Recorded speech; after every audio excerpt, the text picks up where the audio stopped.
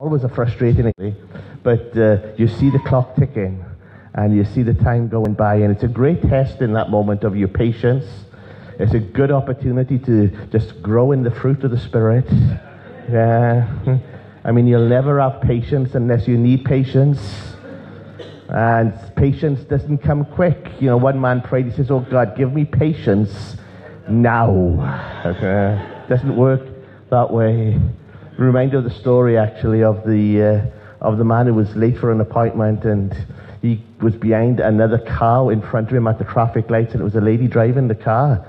And she was fumbling with her handbag, and she missed the lights turning from uh, red to green, and by the time she looked up, they'd gone back to red again. And he was so angry, he was so annoyed because he was late for his appointment. And you know, time is all relative. Okay, time time really is relative. When when you're late, you know, time seems to go much much, much quicker. Einstein once described the theory of relativity of time, where he said, he said, a few moments sitting on a hot stove, okay, can seem like forever. Being in the presence of a beautiful woman, he says, time just goes so quickly, okay? and it's all relative, and so she had missed the turn in, and he had got so angry and so annoyed so he began to beat the horn. He began to shout. He began to wave his hands. He was so irate. And a policeman came up beside him and tapped on the window. And he said, Sir, would you please get out of the car? And the driver was so angry. He said, he said, look, he said, that silly woman in front, she missed the lights, I'm late and for an appointment. Now you're telling me to get out of the car. He said, sir, please get out of the car. He said, you can't arrest me. He said, for, for being angry at someone who missed the traffic lights. And he was shouting and wailing. And the policeman said, sir, I'm not arresting you for being annoyed that someone missed the lights. But he said, I couldn't help but notice as you were ranting and raving in the car, the sign in the back that said, Wise men follow Jesus, wise men still do. I couldn't help notice the cross hanging from the mirror in the front. I couldn't help notice the fish sign on the back of the car and the sticker that says, yeah, I'm a Christian. I follow Jesus. He says, Sir, I'm not, he said, arresting you for getting annoyed with the woman. He says, I think you may have stolen the car. Somebody's always watching. Someone is always, always watching. Okay. So I want us to read the scripture tonight in Mark chapter 12. As some of you know, in the past when we've come, uh, as John mentioned this morning, uh, we've we publish books for people and we help people to write books and write books ourselves. And some of the books she mentioned this morning are outside available if you want to have a look at them. There's my latest book is there on how to know the will of God for your life and how to discover God's plan and your purpose. Now, one of the big questions before we get to read the scripture together that you know people have, uh, and Christians have as well, because it's, it's, it's, possible you know to go through the whole of your life and never really uh, discover and fulfill your purpose. And, and people really are looking for answers for this. What is my purpose in life? Some years ago, a man by Rick Warren wrote a book called The Purpose Driven Life.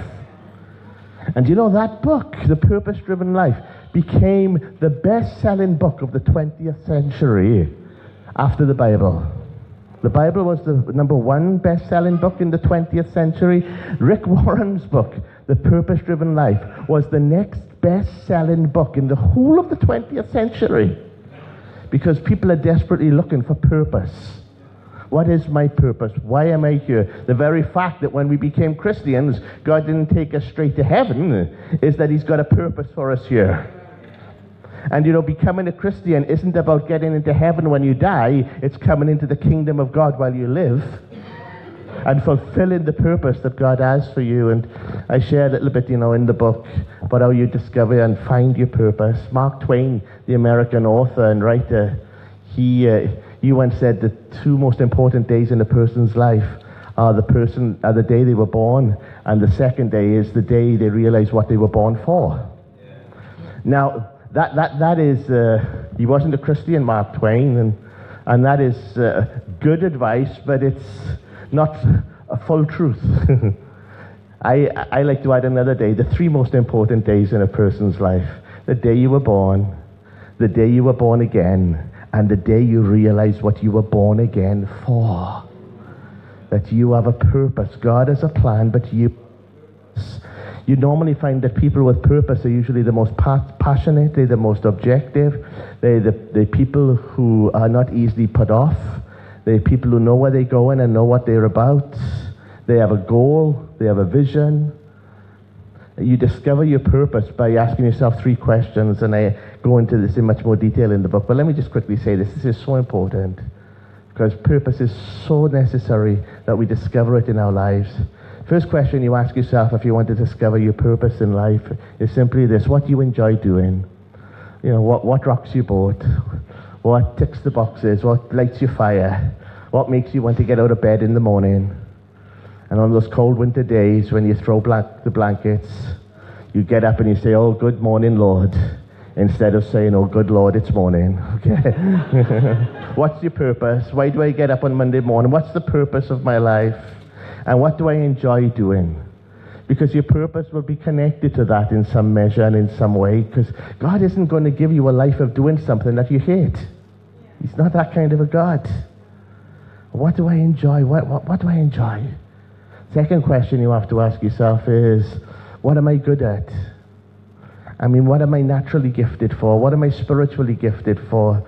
And we all have different talents and different abilities, and what, what, what can I do well? And that's a very important question to ask because uh, your, your purpose isn't going to be something that you're no good at. I mean, I often uh, would say to you, you know, my, my wife, she sings. I sing. I sing when I sing. She ministers when she sings. okay? There's a difference. I enjoy it. She's good at it. She's talented. She's gifted in it. And we have to be careful when we, you know, seek to discover our purpose that we don't fall into the trap of pride or false humility. You know, pride is thinking far more of yourself than you ought. In, in fact, pride is just realizing, somebody once said, pride is a bit like bad breath. You're the last person to know you've got it. Everybody else can, can see it. Okay? And God, He opposes the proud. He gives grace to the humble. You know that scripture that said, if God is for us, who can be against us? Have you ever thought of it the other way? If God is against you, who can be for you? Okay? God, He opposes the proud. But there's also a false humility as well, you know, that puts yourself down. Humility isn't thinking you are nothing. Humility is simply realizing Jesus is everything. And in Him you can do all things because He'll give you strength. So humility isn't putting yourself down. Humility is lifting Jesus up. That's humility, okay? And there's a false humility. Oh, I can't do this. I can't do that. Oh, no, not me. And, you know, you, you don't want to step forward. You don't want to step out. Be, be careful. Because a false humility is just another form of pride. Like the young pastor who preached in his uh, first pastorate and his first sermon, and one of the elders went up to encourage him after the sermon, and he said, "Young man," he said, he said that was very good today. And the preacher, young preacher, didn't know how to take the compliment and wanted to appear very humble. And he says, "Oh, he says, oh no," he said, "It wasn't me." He said, "It was God." And the old elder smiled and said, Young man, he said, it wasn't that good. Okay? okay? Of course it was you. Learn how to take a compliment, but give the glory to Jesus. Okay? And so, what am I good at? And then the, that's usually where the world would stop, by the way. Those two questions. That's where most people in life look to discover their purpose. What do I enjoy doing? What am I good at? Bang. But in the kingdom, we always have to ask ourselves a third question. Because, for instance, you may enjoy robbing banks. You may be good at robbing banks. But I guarantee that is not your purpose to go out and rob banks. So the third question we always have to ask ourselves, and I go into this in far more detail in the book, is, is this. Is what is God blessing? In my life that I'm doing. And when those three things come together, you enjoy it, you're good at it, God is blessing it, go for it. Amen. go, go, for, go for it. And they say, How do you know that God is blessing it? Well, you have a sense, you know, when you've done well, and the sense that when you haven't done so well. When people are ministered to, when people are encouraged, when there is good fruit that comes out of it, when there's positive things that come from it. Say, Thank you, God, you're on that. So I'd, I'd encourage you, you know, you just to go away and just to pray that through. You have a purpose. And in the kingdom of God, that purpose keeps on growing. It's not dependent on age. It's actually more connected to attitude than to age. because, you know, do you know as the years go by, sometimes we can think, wow, the years have gone so quickly. Do you know why the years go so quickly?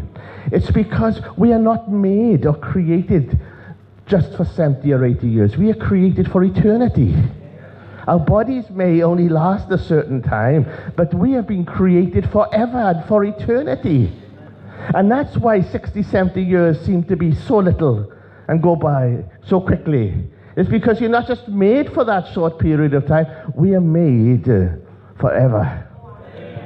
And in the kingdom of God, it's not like the world. In the world, you reach a certain age and you get to that age and they say, oh, your best years are behind you. And, you know, you get to you, you can get to your 30s and 40s. Ah, your youth is gone now. It's, you know, it's a bit downhill from here. You get to your 40s, your 50s, you get to your 60s and 70s, you say, ah, you'll almost be over the hill. You get to your 80s, you say, ah, there's no more hills, you know, it's... Yeah, have, have, you, have you heard of the music group Hillsong? Well, they brought out a new music group for the over 70s. It's called Over the Hill Song. Okay? but that's just how the world would see it. But you know what? In the kingdom of God, and this is absolutely true, whatever age you are, the best is still to come. The best is still to come. A 90 year old man taught me that when I was pastoring my first church. He used to say to me, Pastor, I've had a wonderful past, but I've got an even better future. A, a big smile on his face. And it's so, so true. Now, I want to read to you Mark 12 tonight. And it's, see, it's an answer to the most important question that Jesus was probably ever asked. And in Matthew, Mark chapter 12 and verse 28,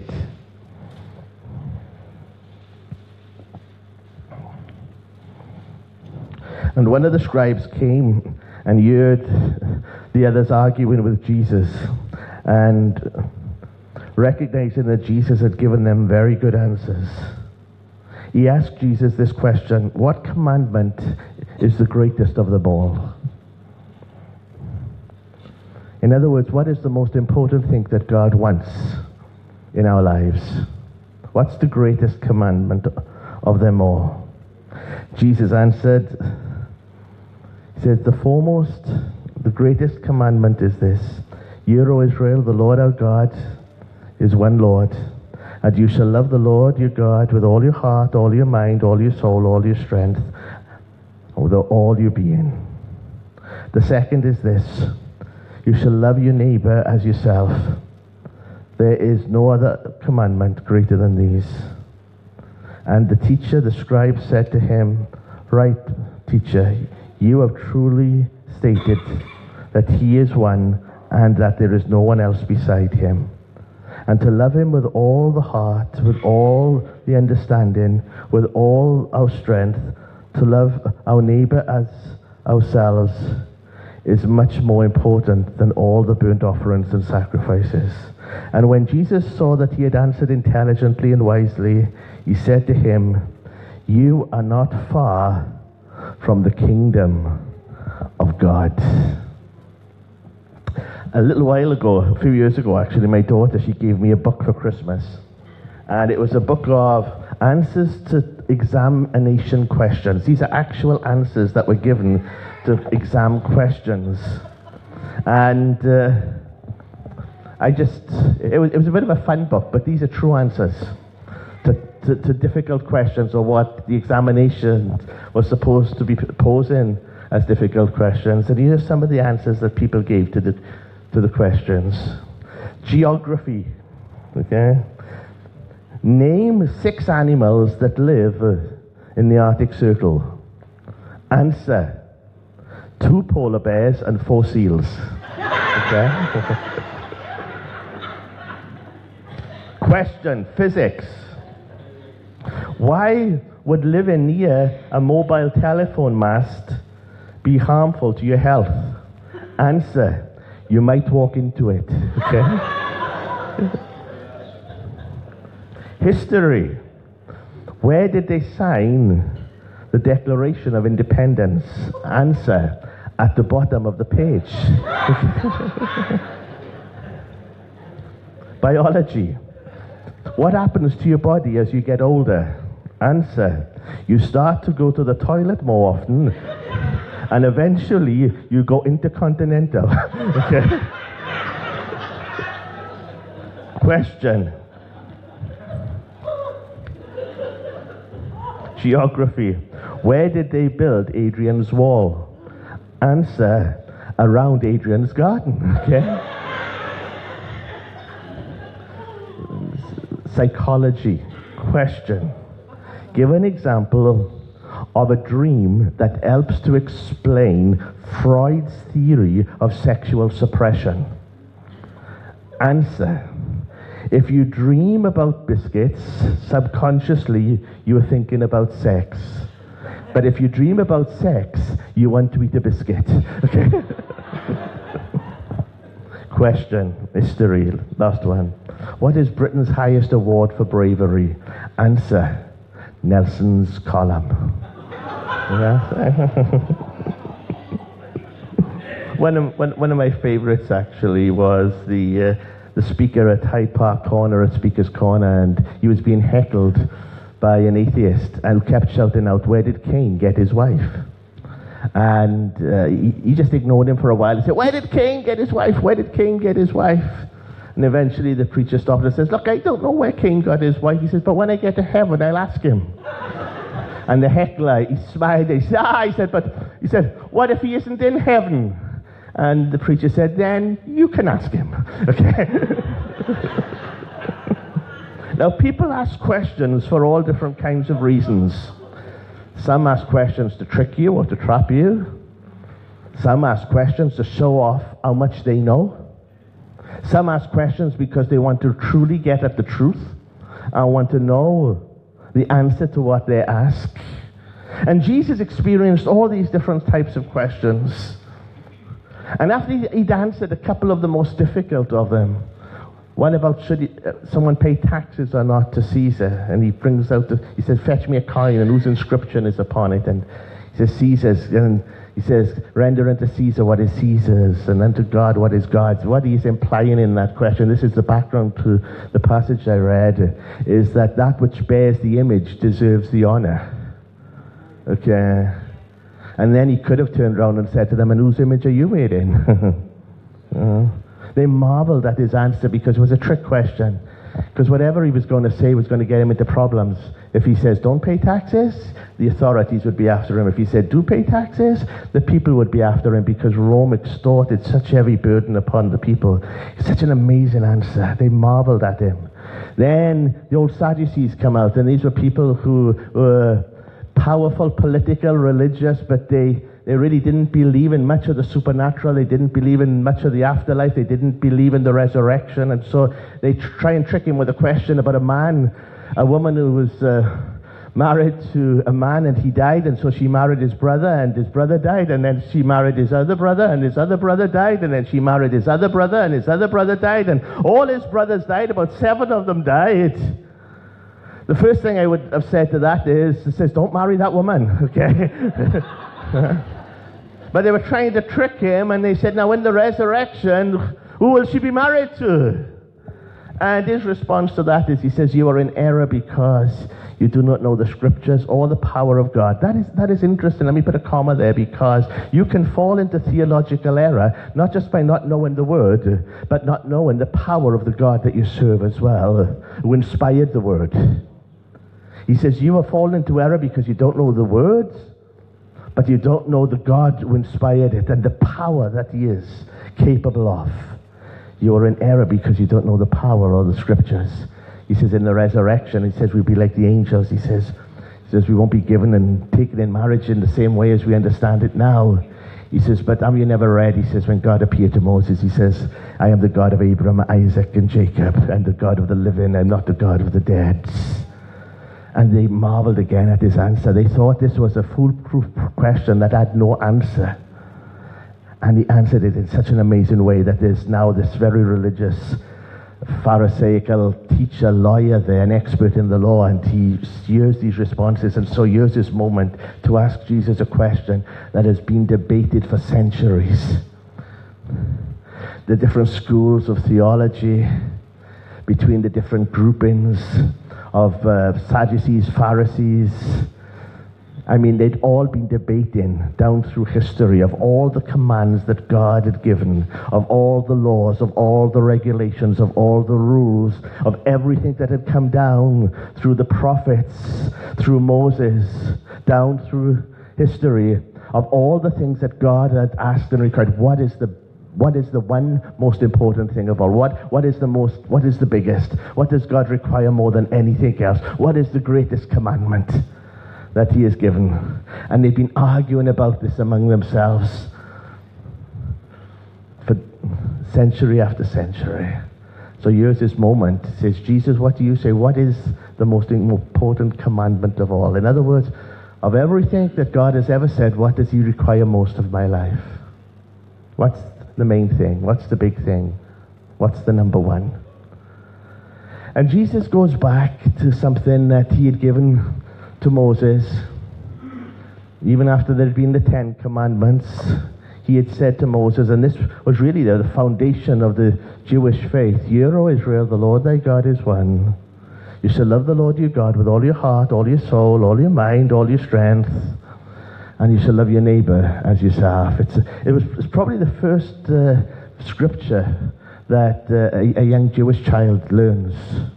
It's prayed morning and evening in the synagogue. It, it's central to the, to the worship uh, there within the, the life and ministry of the synagogue. And it's very well known, but sometimes things that become so well known, they were arguing about so many other things.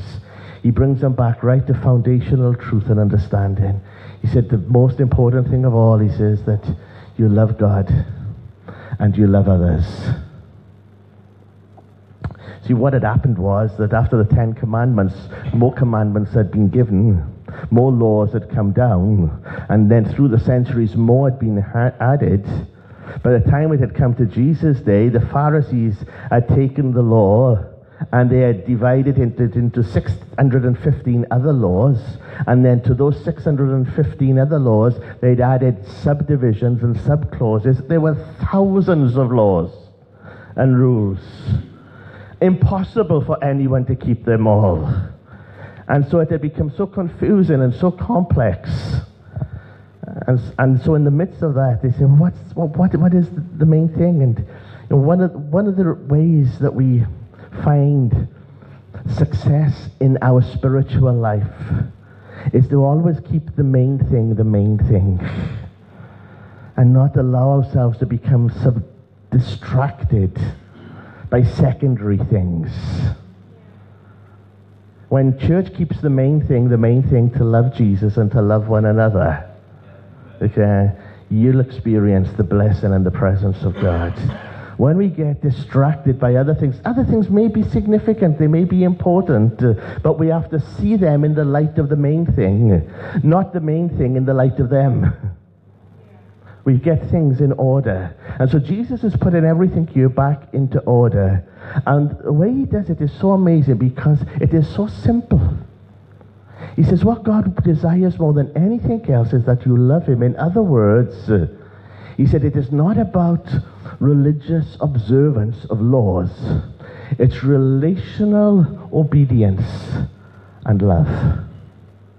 See, one of the things that religion does is it tends to complicate everything. And it tends to make everything more complex. And that's true of any religion you can look at in the world today. Even if you try and make Christianity into a religion, it will become so full of complexity There are these rules to keep. There are these pathways to follow. There are these pillars that we must abide by. Pilgrimages to go on, places to see, things to do. You must bathe in this holy river. You must go to this holy site. You must find yourself. You must lose yourself. I mean, it just goes on and on. And you look at any of the world's religions, and to follow them, and this is what religion is, you see, becomes so complex This was the issue that Martin Luther grappled with in his day, and 500 years ago we celebrate now the Reformation of what took place under Martin Luther. But this was one of the great problems that he had with his grappling with his own faith with God. As a young monk, he was terrified of God. He just saw someone as God to be feared, and he did everything he could to get his life right with God. And so he would fast he would go on pilgrimages. He would even beat his body. He would study. He would read. He'd go to Mass. He'd go through ceremonies. He'd go through rituals. He went through it all and he found no peace. So the answer was more rituals, more ceremonies, more complexity, worship more saints. And he still couldn't find the peace that he was looking for. So he had a very wise confessor, spiritual overseer by the name of Johann von Staupitz. And he was sharing with them his turmoil, with him his turmoil that he was experiencing. And von Staupitz, he very wisely suggested that Martin Luther read the Psalms to find peace. It's the, it's the advice we still give to people today when they're going through a, you know, em, em, emotional trauma. Read the Psalms. And Martin Luther began to read through the Psalms and he began to find some solace there. And, and then von Staupitz said to him, now, and read Paul's epistle to the Romans. And he began to read and study Paul's letter to the Romans. And he felt he understood it, but there was one phrase in it that terrified him, and it was the phrase in you know chapter 1 and in verse 17 it says, For we are not ashamed of the gospel, it is the power of God, you know, to those who believe, the Jew and the Gentile. For in it a righteousness from God is revealed. And he had always feared the righteousness of God because he thought of God's righteousness as that which condemned him as a sinner. And he was terrified that this righteousness he would stand before one day and he would have no answer to give before it because of the way that he had lived and the things he had done and said and thought. And so this righteousness, he only saw it as something that condemned him. And then he describes the moment of revelation where he realized what it truly meant. It was a revelation moment, but it was more than that. It was an impartation and transformational moment. He says, He realized now that in the gospel this righteousness has been revealed that the very righteousness that condemns us when we reject it is the same righteousness that saves us when we accept it. Yeah. In other words, God doesn't have different thrones. He doesn't have a throne of judgment over there and a throne of grace over there. And when he's on his throne of grace, he jumps off the throne of judgment and jumps onto the throne of grace. The throne of judgment and the throne of grace, God has one throne. The throne of judgment becomes for us a throne of grace because the Lamb has been slain before it and we come through the blood of Jesus. And that which was once the judgment has now become that which he has judged in our favor and says there is no sin to answer for. He has presented a different judgment. And that which once condemned us is that which now saves us. It's the same throne. Is there? And so he, he describes the moment that when he had this revelation that if he just received in Christ the love of God and forgiveness of sin, that that righteousness of God that once judged him is the same righteousness that will make him clean and pure. For God was in Christ reconciling the world unto himself. Says that in Christ we might become the righteousness of God. And he described it like paradise being open, being born again. It was like everything became new. It was a new creation moment for him. He went back to his confessor von Staupitz and he says, I found what I've been looking for. I couldn't find it on the pilgrimages to Rome. I couldn't find it in my cell, beating myself, or fasting, or denying myself. I couldn't find it in any of the rituals or in any of the ceremonies, but I have found what I've been looking for. I found it in Christ. And that's all we need. And von Staupitz, he says to him, he says, but Martin, he says, that's wonderful. But what will you put in place of all the pilgrimages and the indulgences and the relics and the prayers to the saints and the fastings? And Luther's answer to von Staupitz was, he says, Jesus Christ. All man needs is Jesus Christ. And that was the birthing of Reformation. Yes, there was truth within that, the Catholic Church, and there is still great truth within the church. But what Luther came to realize is so often the trappings of religion is that you make lesser things more important than the main thing. That's what religion does. And he came back and he found that the main thing was knowing Jesus and experiencing him in his life. And here's what Jesus is saying is that through the centuries, you've made all these other laws and you've added to it and you've complicated it and you've confused it and it's so complex. And the wonderful thing I love about Jesus is it's so simple that even a five year old child can understand it, and a five year old child can respond to it and get wonderfully born again because they haven't got to understand lots of theologies and religions and practices and rituals and ceremonies. It's just Jesus. Love God and love your neighbor. See, see, religion, there are some good things about it. I mean, religion is people seeking after God. And that's why it does become very complex. because if however much you seek after him, if he didn't want to be found, you would never find him. Okay? So you've always got to keep doing more and adding more. Whereas knowing Jesus and what we say and term as Christianity is not us seeking after God, it was God came seeking after us. And he came to seek and to save those that were lost.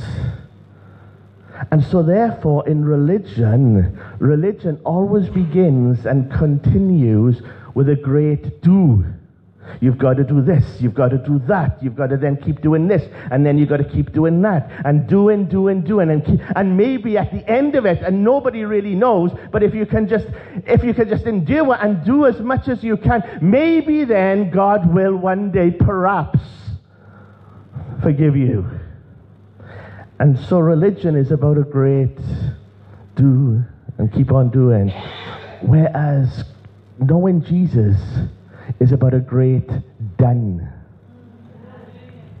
He said, It is finished. The debt has been paid. All you've got to do now is come and receive the benefit of it. So religion is always a great do. Entering into faith with Christ is a great it's done. Okay? And then we do out of what's been done. We don't try to get to the done by what we do. But that's what religion is like. Somebody once said, you know, religion can be compared to this. It's like going into a restaurant and seeing a beautiful menu and looking at all the food and thinking, wow, that looks great. So you order the best food on the menu, but it never comes all you ever get is the bill. okay? Whereas knowing Jesus is the other way around. You order the food, and the food always comes, and the bill has already been paid. Okay? That's the difference. And so Jesus, he says, love God. Don't have to complicate it. Don't have to make it so complex. Just love God with all your heart, all your strength, all your mind, all your being. Love your neighbor as yourself. Now, notice that he uses that little word all. It's only small, but it's so important. Because, yes, it starts simply, but it requires everything. And the tendency that we have, even as Christians, in this relationship we have with God that He has given us in Christ, uh, is that fundamentally it, it is a heart issue. But because it is a heart issue, then we have to learn how to guard our heart and sometimes fight for our heart. Because sometimes our heart doesn't always like the word all. Our hearts can become divided. We can become double minded. Our wills can be up and down, in and out. And this is where the relationship begins to go wrong because, see, out of relationship, there needs to be fellowship. If you're going to know God, it starts with a relationship, but it grows with fellowship. And in this fellowship with Him, it is a heart thing. And the enemy is always trying to distract or to grab our heart. And our hearts can become divided. Our minds can, be, become, become double minded. One of the saddest stories I ever heard was of uh, a, a, great uh, Christian leader at one time, and he pastored a huge mega church in Texas, headed up a, uh, a ministry of over two million intercessors across America. I wrote some brilliant books. As, as, a young pastor, I bought all his books, great books about prayer, and there was no doubt that there was a touch of God upon this man. And, and then things went wrong, and he ended up, long story, but he ended up, he left his wife, left his family, and he got involved in a adulterous relationship with his secretary. Eventually left his family, divorced his wife, and went and married this other woman. And his wife, that he had divorced some years later, was being interviewed by a Christian magazine and asked about what had happened. And she said her husband, his name was Larry Lea. It's, it, it's out there on the internet and you can research all the details. It's, I'm not saying anything confidential. And, and Larry Lea, his wife, she said, he was great to me. He was a wonderful man. He, he was a marvelous father. He was a great husband. But she said it did go so sadly wrong He said even when he was having an affair with this other woman, and even when he, he said he was leaving us and leaving me and the children, he said that he still loved us. And she said, I do believe that he loved us. And I do believe that he still loves us. And he still loves the children. So why did he leave us if he loved us so much? She said, What I believe happened to my husband was this. She said, His heart became divided he had opened his heart up to another woman that he should never have opened his heart to. You see, you can choose to open your heart to anyone you like. And you can fall in love with almost anyone or anything if you, if you choose to open your heart to them. That's why the Bible says we have to guard it. We have to fight for it sometimes. And he had opened his heart to someone that he should never have opened his heart to in that way. But the more he opened his heart to the other person, and the more that got stronger, and the more that grew, his heart became more and more divided until eventually there came a tipping point. And this is what happens when finally the relationship tips. There comes a tipping point that the other person has more of his heart than his wife had, and the children had. And he decided that's the way he wanted to go. Whatever captures your heart will control your life. Whatever controls your life will determine your decisions, determine your destiny, determine the choices that you make. Life is made up of consequences and choices, and if you want good consequences, you have to learn to make good choices.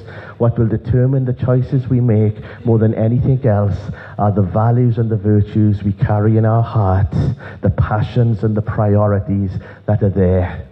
And when nobody's around to see what we do, and even if we think we can get away with it, what will determine what we do in that moment will be what's captured your heart.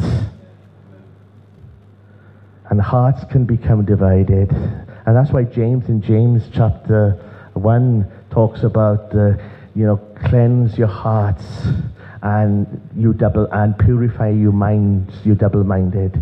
A divided heart will always lead to a double mind.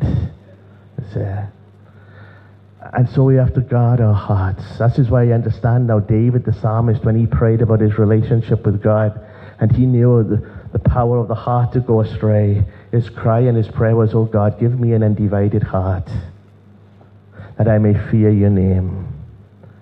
And the reason we have to guard our hearts and our relationship with God, if we're going to grow in this relationship with Him, is the devil is constantly after the, the heart. The heart is the master control area of our life. The heart and mind are really interconnected. In Scripture, they, they're used interchangeably to describe the same thing as a man thinks in his heart, so is he. Jesus knew what they were thinking in their hearts. Because when, when the brain and the heart connect, it becomes the, you know, the mind. The brain is physical, the mind is spiritual. It's interesting, you know, you can change your mind, but you can't change your brain. Not yet, anyway, okay? Because the brain is about the physical, but the mind is spiritual. The brain is simply about what we think, the mind is about how we think. And that's why two people can have exactly the same information and come to totally different conclusions because you process the information differently. Because you'll see the same thing, but you'll come to a different conclusion because of the way you think. You've got the same facts, the same details. Two politicians will look at the same data and they'll come to totally opposite conclusions of how to meet the problem because different things capture their heart, control the way they think and we are all like it. Two scientists will look at the sky at night, one will look at the stars and say, Wow, what an amazing creation, and fall on his knees before God. The other will look at the same stars and say, Wow, what incredible chance. Aren't I clever to be able to discover all this? Uh, they see the same stuff. They come to a different conclusion. That's why the Bible says, by the way, the fool says in his heart, There, there is no God or no to God. It's a heart issue. And the devil believes that we've all got a price and he's after our heart. And if you're going to grow in your relationship with God, you've got to guard that heart. I mean, the devil believed that David had a price. For him, it was a beautiful woman. When David was tired and perhaps feeling a bit low, with Achan in the Old Testament, it was some gold and some garments that he stole out of Jericho. With Judas, it was 30 pieces of silver. with Balaam, it was the wages of wickedness, it says. The devil believes every one of us here tonight has got a price. Believes you've got a price, he believes I've got a price. And the reason I say that is because he believed Jesus had a price. He said, I'll give you all the kingdoms of the world if you bow down if you worship me. You see, that's what it is in something that captures your heart. You begin to bow down, you worship it. Jesus says, Get behind me, Satan. So, what's your price? There was a, a man, a, an elderly man in a cafe one day, a very wealthy man, and he's sitting near a beautiful young woman, and he turned to the lady and he said, he said, I'm, I, I'm conducting a social experiment. Will you help me with this? She said, What's the question? She said, he said, I'm a very wealthy man. And he said, see that man sitting over in the far corner? Do you know him? Have you seen him before? She said, no. He said, if I was to offer you a million pound, would you sleep with him? She thought for a moment. She said, are you serious? He said, I have the money. I wouldn't miss it. She said, for a million pound, if you're serious, yes, I would do it. A million pound. He said, See the man in the other corner over there? Have you met him? Do you know him? No, I've never seen him before. He said, If I was to offer you £10 to sleep with him, would you do it? She looked at him aghast. She said, What kind of a woman do you think I am? he said to her, He said, Oh, he said, You've already told me what kind of a woman you are. I'm just trying to determine your price. You see? The price. What's the price? What's the price? See the difference between what some people do and what other people do? Isn't that they wouldn't do it or want to do it, they just have a different price level.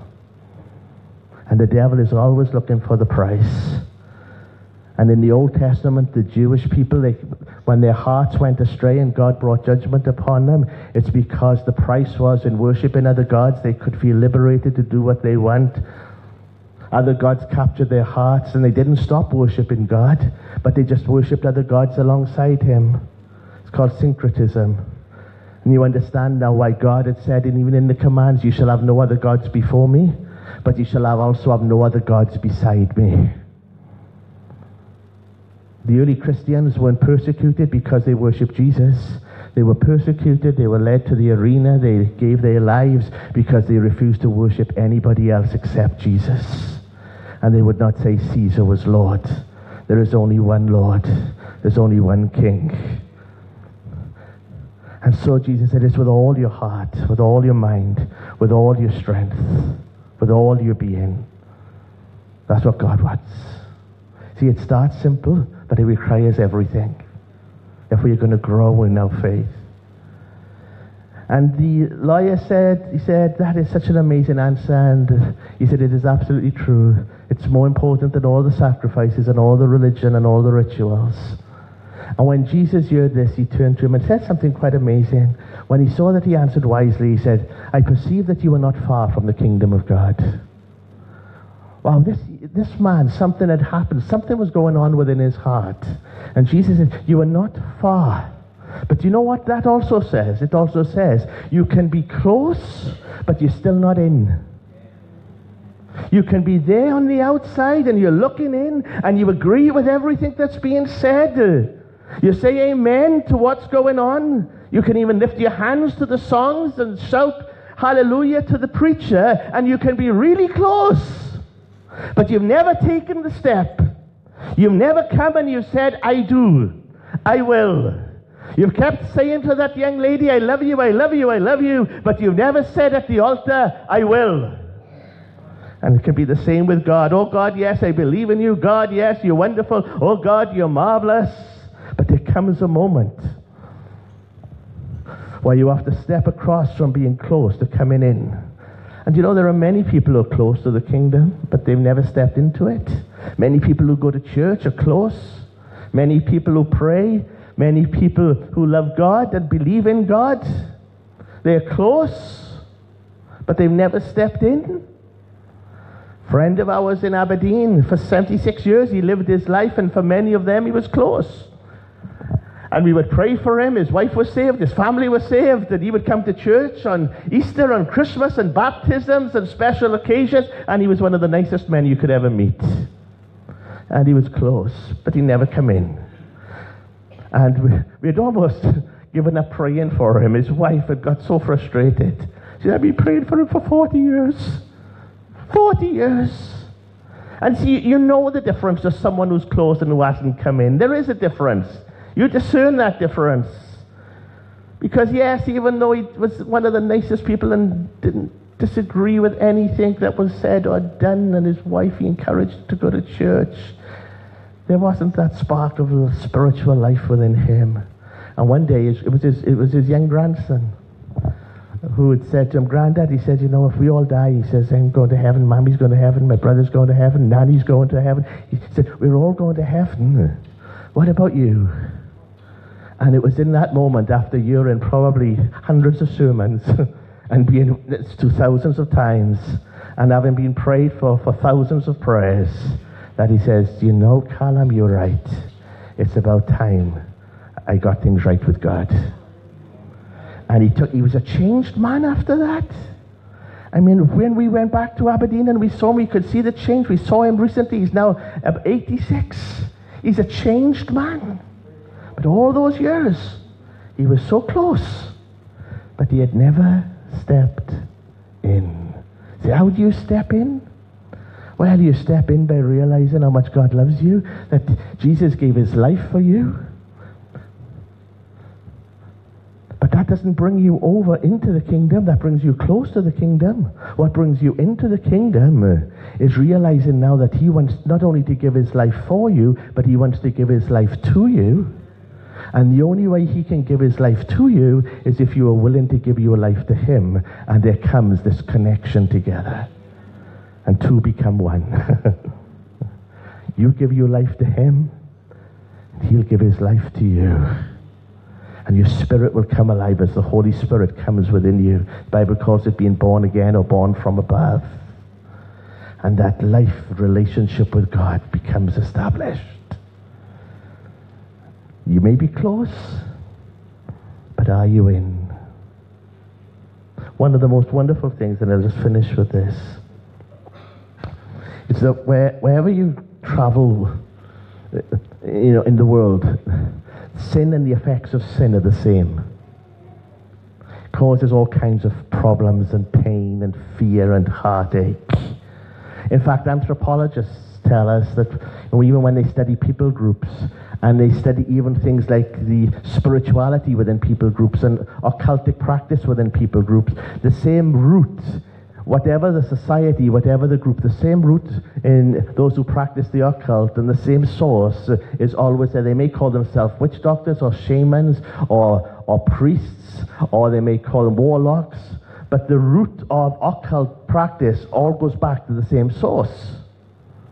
And we know, of course, what, what that is that which is dark and demonic and devilish.